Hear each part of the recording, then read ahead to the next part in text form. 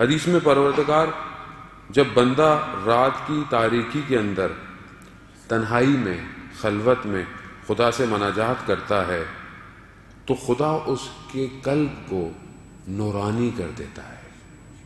यानी इंसान जब रात की तराई में, खलवत में खुदा की बात करता है तो खुदा खुद खूब इमाम जाफ़र सादिक सलाम भी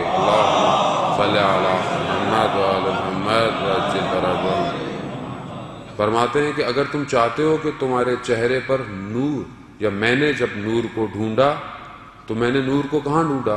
तहजद की नमाज़ में पाया।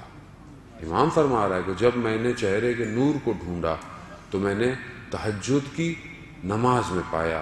तो बहरहाल इंसान जब तन्हाई खलवत में, रात की तारीकी में तो खुदा उसके दिल को नुरानी कर देता है, और फिर बंदा कहता है ए मेरे परवरदिगार ए मेरे रब जलील मेरी दुआ को कबूल कीजिए।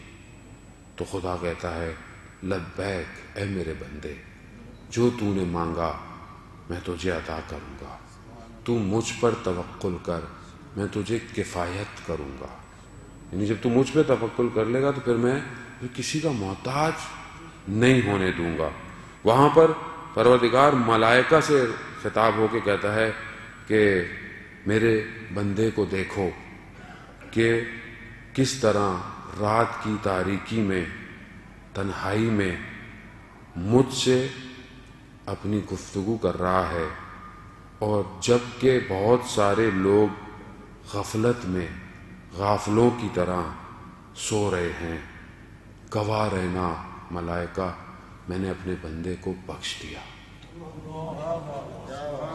सलाह अल्लाह।